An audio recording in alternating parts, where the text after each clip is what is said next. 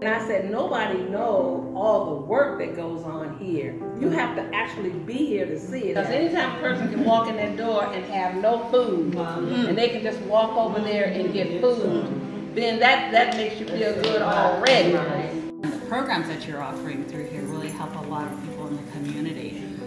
So I wanted to take this opportunity to just really express Chevron's gratitude for being a partner in the North Richmond community and our gratitude to you guys for the work that you're doing.